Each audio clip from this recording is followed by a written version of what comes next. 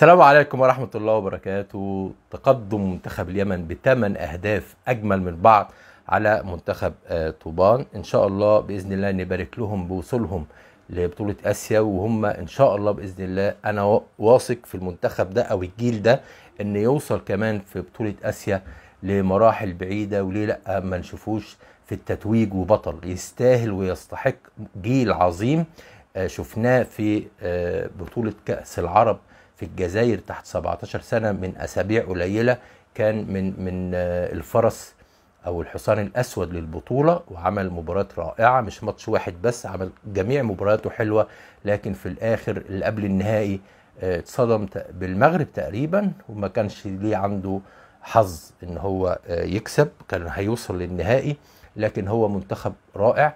تحليل الأهداف أنا اتكلمت على الأهداف الثمانيه في قناتكم من الآخر مع آه، مصطفى صادق القناه الجديده روحوا لها واتفرجوا على آه، تقييم الأهداف كلها وإن شاء الله هنتابع المباريات القادمة ونحلل الماتشات كلها. ومليون مبروك ايا كان بقى منتخب مثلا اليمن بيلعب النهارده وكسب 8 يقول لك ده منتخب ضعيف. أنا ما يهمنيش. اليمن بيلعب مين أنا يهمني نوصل للهدف بتاعنا إن اليمن نشوفه في بطولة آسيا ونستمتع بيه ونتفرج عليه وهو بيعمل أجمل مباريات مع أقوى المنتخبات في آسيا إن شاء الله. فده هدف. نخلص من من ثلاث مباريات مكسب إن شاء الله يوصل اليمن لبطولة آسيا وده يبقى الهدف.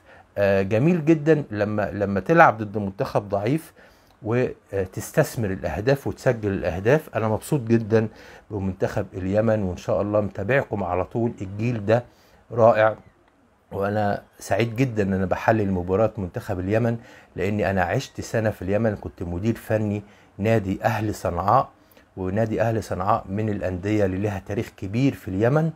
وشرفني إن أنا كنت عايش في صنعاء وسط شعب جميل وناس طيبة ولاد أصول.